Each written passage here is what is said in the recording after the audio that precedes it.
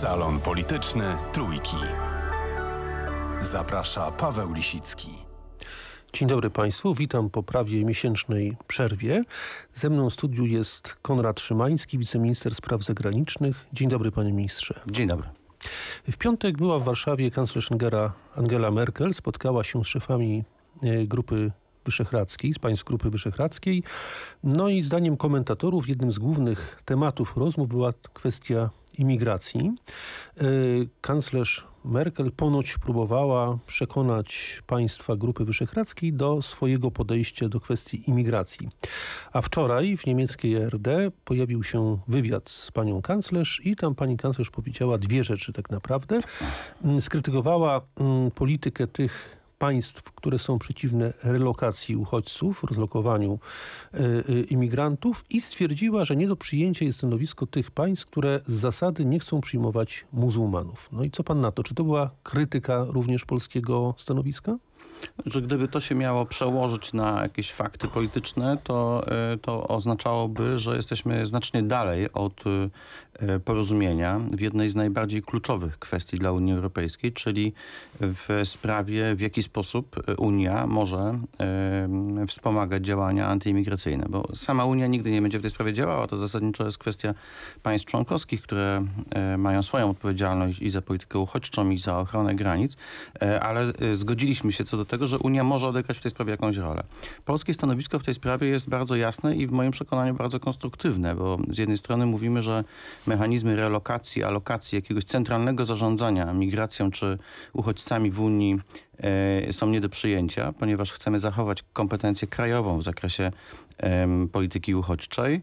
E, co więcej, wskazujemy, że w gruncie rzeczy te mechanizmy nigdy nie mogą przynieść efektów, bo fala migracyjna spoza Europy jest na tyle duża, że nawet gdyby wszystkie państwa członkowskie, a wiemy, że przynajmniej połowa jest temu niechętna, Gdyby wszystkie państwa członkowskie wykonywały tego typu e, działania skoordynowane, to i tak nie bylibyśmy w stanie rozlokować tej masy ludzkiej, która u wrót Europy, u południowych granic Europy e, oczekuje na, na takie rozwiązania. Zwracaliśmy uwagę na to, że europejski kompromis w sprawie migracji może polegać na tym, że wspólnie bronimy granicy zewnętrznej, wspólnie podejmujemy nawet bardzo ambitne E, działania w zakresie polityki rozwojowej, humanitarnej, współpracy z krajami trzecimi, e, krajami tranzytu migracji, czy też pochodzenia migracji, tak aby zahamować falę, zahamować źródło, żeby odpowiedzieć na przyczyny tego problemu, a nie próbować sobie nieudolnie radzić z konsekwencjami. Zresztą o tyle, e, o tyle nieudolnie, że skutki uboczne tego procesu, polityczne skutki uboczne w całej Europie, także w Niemczech, e, są bardzo niedobre dla samej konstrukcji europejskiej. To budzi niepokój społeczny, w moim przekonaniu całkowicie uzasadniony. Ale kontrargument, którym posługuje się kanclerz Merkel i nie tylko ona, bo przecież y, ona pewnie reprezentuje stanowisko też takich krajów jak Włochy na przykład, czy tych państw, które są, że tak powiem, na granicy, do których jako do pierwszych imigranci przybywają, jest takie, no tam pojawiają się dziesiątki, setki tysięcy tych uciekinierów, y, a takie państwa jak y, Polska, Węgry czy Czechy, zamiast ponosić solidarnie tutaj ten ciężar, nie chcą tego robić i kierują się swoim egoistycznym interesem. Kierują się przekonaniem, że nie można prowadzić polityki uchodźczej wbrew opinii publicznej. Kierują się przekonaniem, że tego typu mechanizmy nie są w stanie efektywnie przynieść ulgi tym milionom osób, bo nie mówimy o jednym milionie w tamtym roku, ale potencjalnych milionach ludzi, e, którzy wybraliby taką drogę, jeżeli ona okazałaby się łatwa e, i, i łatwo przystępna. Uważam, że to jest y, działanie na szkodę y, Europy, ponieważ już dzisiaj przynosi to bardzo daleko idący opór, niepokój znacznej części opinii publicznej i niekoniecznie y, w naszej części Europy, ponieważ my kontrolujemy procesy migracyjne, w związku z czym myślę, że społeczeństwo polskie czy węgierskie ma prawo czuć się dość bezpiecznie. Natomiast widzimy, że społeczeństwa holenderskie, także niemieckie czują się coraz mniej bezpiecznie w tym, w tym kontekście, ponieważ widzimy wyraźnie, że państwa europejskie, nawet ze swoją maszynerią regulacyjno-administracyjną, nie są w stanie tego procesu no to... kontrolować. To stwarza nie tylko ryzyka związane powiedzmy ze zmianą o, krajobrazu społecznego, kulturowego Europy, ale również stwarza zagrożenia bezpośrednio związane z bezpieczeństwem. W tym sensie my rozumiemy te obawy. Uważamy, że trzeba realistycznie podejść pod europejską odpowiedź na kryzys migracyjny. Nie chcemy sugerować, że to jest cudzy problem. Chcemy w tym brać udział. Udowodniliśmy to przy okazji negocjowania porozumienia tureckiego, ale mówimy jasno, że są granice tej wspólnej odpowiedzialności. Co więcej, doświadczenie ostatnich miesięcy pokazuje, że rozwiązania e, skupione na zarządzaniu granicy zewnętrznej, na rozwiązywaniu problemów u źródła, przynoszą właściwe efekty. Ym, Zwracamy uwagę także niemieckim partnerom, że dzięki porozumieniu z krajem trzecim, jakim jest Turcja, skutecznie zahamowaliśmy wpływ migracji do Europy. I o to nam chodzi. A dlaczego pańskim zdaniem e, ta polityka kanclerz Merkel w stosunku do uchodźców czy migrantów jest właśnie taka? No rzeczywiście, gdybyśmy popatrzyli na stosunek e, pewnie polskiego społeczeństwa albo nawet na te zmiany, które zachodzą w Niemczech, to ona się spotyka z coraz większą krytyką, a mimo wszystko nie następuje tutaj zmiana. Skąd się bierze ta, e, e, czy to są względy, nie wiem, ekonomiczne, czy ideologiczne? Co jest powodem takiej, a nie innej Znaczy byłoby polityki? lepiej, żeby oczywiście strona niemiecka y, tłumaczyła motywy swojego, No ale swojego Polacy działania. zadają często to pytanie, dlaczego tak się dzieje? No bo przecież z tego wynika potem ta próba narzucenia tej samej, czy forsowania tej samej propozycji w innych w oficjalnym dyskursie z, zwracana jest uwaga na odpowiedzialność moralną, tak właśnie definiowaną, chociaż w moim przekonaniu to nie jest jedyny sposób zdefiniowania odpowiedzialności moralnej, co do której ja nie mam wątpliwości. My mamy odpowiedzialność moralną za ludzi w potrzebie, ale to nie oznacza, że automatycznie musimy przyjmować rozwiązania dyktowane w Brukseli czy e, w Berlinie. Z drugiej strony zwraca się uwagę na to, i to jest wzgląd ściśle ideologiczny, na to, że nie można pozwolić sobie na to, by w Europie ktoś powiedział, że społeczeństwo powinno być w jakiś sposób zdefiniowane, że można podważyć e, Czy zdefiniowane w paradygmat- kategoriach kulturowych, religijnych, tak, tożsamościowych? że znaczna część tego obozu, który stoi za polityką uchodźczą, tak zdefiniowaną, powiedzmy politykę otwartych, zupełnie otwartych drzwi, bezwarunkowo otwartych drzwi, e, znaczna część tego obozu zwraca uwagę na to, że, że nie można pozwolić sobie na taką koncesję wobec, powiedzmy, konserwatywnej części Europejczyków, ponieważ to oznacza podważenie czysto ideologicznego konceptu społeczeństwa całkowicie otwartego. Oczywiście w, w Europie Środkowej nie podważamy zasad liberalnej demokracji, nie, nie podważamy zasad społeczeństwa otwartego jako takiego, ale uważamy, że społeczeństwo z drugiej strony ma prawo oczekiwać od polityków kontroli procesów społecznych. Ma prawo oczekiwać od polityków, że tego typu działania, które zmierzają do zmiany struktury społecznej, do zmiany e, krajobrazu kulturowego, że one będą objęte po pierwsze dialogiem społecznym, a po drugie konsensusem społecznym. Tego konsensusu nie ma nie tylko u nas, ale także w zachodniej Europie. Dlatego radzimy naszym partnerom zachodnim, żeby postępowali w tej sprawie ostrożnie, bo za chwilę będziemy mieli Europę, e, która będzie tak nieufna względem siebie, że ubocznym skutkiem tej polityki będzie załamanie procesu integracji. Jeżeli ktoś e, tego nie dostrzega, to, to, to, to w, moim, w moich oczach budzi to naj, najgłębsze zdziwienie. E, Wydaje się, że ten, to napięcie migracyjne faktycznie jest jednym z dwóch najważniejszych. Oprócz napięcia o rygoryzm fiskalny między północą a południem, i jeżeli chcemy dzisiaj po Brexicie pokazać jedność, to musimy się skupić na tych rzeczach, które łączą.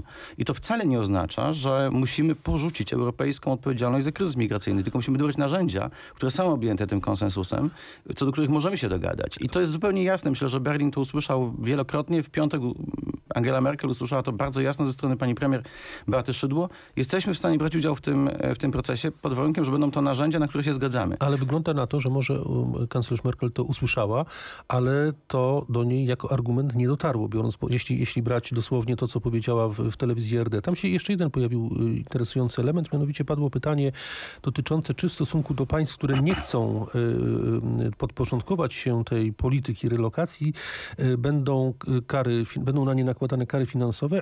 Kanclerz Merkel uniknęła, nie odpowiedziała na to pytanie, no ale o tym się mówi. Czy pan sądzi, że ta dyskusja może prowadzić do tego, że część państw będzie się domagała nałożenia na te niechętne tej polityce rzeczywiście kar finansowych?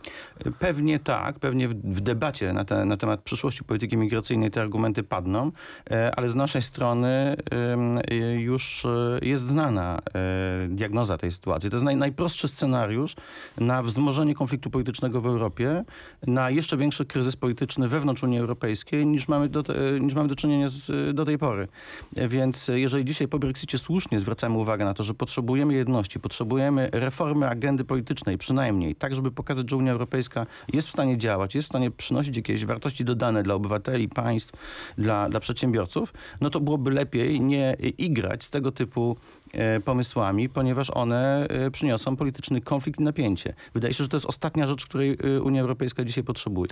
Ale tak jak słuchając tej pańskiej wypowiedzi i konfrontując to z tym, co mówiła też Beata Szydło, premier Beata Szydło, można by dojść do wniosku, że ta piątkowa wizyta mm, kanclerz Merkel no, nie zakończyła się sukcesem, bo strony pozostały przy swoim, a nawet mam wrażenie po tej wypowiedzi właśnie kanclerz Merkel, że tego zrozumienia dla polskich obaw nie ma. Wydaje się, że trzeba to postrzegać w szerszym planie. My zgodziliśmy się co do tego, że e, powinniśmy zreformować agendę polityczną Unii i tym się zajmiemy w Bratysławie. Zgodziliśmy się co do zasady, że powinniśmy się skupić na rzeczach, które łączą. Kanclerz Merkel powiedziała to nawet na konferencji prasowej, publicznie. E, Zgodziliśmy się, że e, w najbliższym czasie, w, krótkim, w krótkiej perspektywie powinniśmy skupić się na bezpieczeństwie oraz na wzroście gospodarczym, wspólnym rynku, rozwoju wspólnego rynku, w szczególności w zakresie cyfrowym. Także mamy wiele spraw wspólnych, które możemy kontynuować. W tej jednej sprawie Europa Środkowa, nie tylko Polska, położyła na stół propozycję kompromisu, żeby zamknąć ten temat i skończyć z, z tym napięciem politycznym.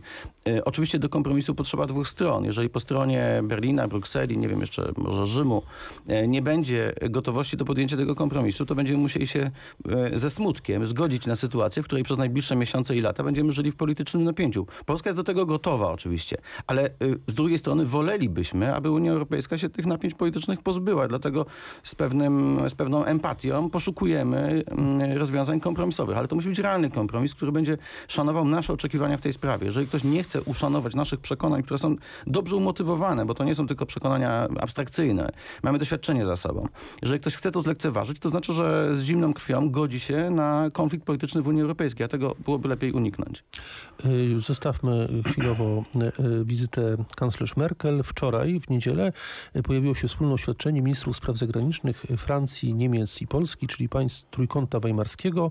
Y, Cała masa różnych, pewnie słusznych postulatów, które mówią o tym, że trzeba zacieśnić współpracę i trzeba na nowo odnaleźć się w tej sytuacji związanej z Brexitem. Tylko tak się zastanawiam, patrząc na rozwój sytuacji w Europie, czy ten Trójkąt Weimarski to jest w ogóle jeszcze jakkolwiek istniejące ciało, czy to nie jest ciało pozorne, bo tym realnym chyba w tej chwili jest taka, nie wiem czy to nazwać osią, ale trójkątem być może, Włochy, Francja, Niemcy. Wygląda na to, że to są te trzy państwa, które po odejściu Wielkiej Brytanii w tej chwili zaczynają dominować tą dyskusję europejską. Myślę, że one chcą, przywódcy tych państw chcieliby przedstawiać się w ten sposób. Natomiast między Berlinem a Rzymem i Paryżem e, jest w moim przekonaniu jeszcze bardziej fundamentalne napięcie i trudniejsze do usunięcia napięcie niż to, które jest między Warszawą a Berlinem w zakresie polityki migracyjnej. Mam na myśli tutaj e, napięcie wokół polityki fiskalnej. E, Południe coraz silniej domaga się poluzowania rygorów fiskalnych w strefie euro, co jest nie do przyjęcia dla krajów północnych, w szczególności Berlina, ponieważ oznacza to, że kraje północne, w szczególności Berlin tak naprawdę z uwagi na swoją skalę, e, będzie zmuszony do podejmowania mm, odpowiedzialności za rosnącą e, sumę długu publicznego na południu. E, Tutaj rozwiązanie jest znacznie trudniej niż w przypadku porozumienia w zakresie polityki migracyjnej, więc nie sądzę, aby można było mówić o tym, że między Berlinem a Rzymem dzisiaj jest jakaś e, wspólna linia, wspólny scenariusz postępowania e, w sprawie przyszłości. To jest jeszcze trudniejszy problem niż ten, który dzieli czy wprowadza pewne napięcie między Berlinem a Warszawą. Więc jestem zupełnie spokojny. Sam fakt tego spotkania trochę rocznicowego jest o tyle ważny, Mówimy o spotkaniu dotyczącym Trójkąta Weimarskiego. Trójkąta Weimarskiego. Jest o tyle ważne, że po pierwsze my chcielibyśmy, e, aby faktycznie w, tej, w tym trójkącie, gdzie istnieją oba najważniejsze napięcia w Unii Europejskiej, czyli fiskalne i migracyjne, e, żeby zacząć rozmawiać. Chcielibyśmy, aby oba te napięcia były wygaszone, więc trójkąt wydaje się, że jest dobrym forum. Czy, przynosi to, przy, czy przyniesie to efekty, zobaczymy. E, Staramy się o to, aby, aby odtworzyć również trójkąt e, w składzie szefów rządów i, i głów państw. Rozumiem, że to jest ta propozycja w listopadzie spotkania, tak? Tak, Szefów państw Trójkąta Weimarskiego. Jesteśmy przekonani, że krótko mówiąc, każdy format y, dialogu politycznego w Unii jest dzisiaj potrzebny, ponieważ Unia jest naprawdę w trudnym położeniu, więc jeżeli chcemy tą e, organizację uratować, jeżeli chcemy ją zreformować, jeżeli chcemy przynieść właściwą zmianę tam we, wewnątrz tej organizacji, żeby ona odnowiła swoją kondycję, to musimy rozmawiać i dobrze, że Polska w tym uczestniczy. I na tym musimy zakończyć. Rozumiem, że ten postulat rozmowy i dialogu jest pewnie przez wszystkich przyjmowany. e, Na tym etapie się zgadzamy, Na tym, tak. na tym etapie się zgadzamy. Dziękuję e, bardzo. Moim gościem był Konrad Szymański, wiceminister spraw zagranicznych. Dziękuję. Dziękuję bardzo. Do widzenia.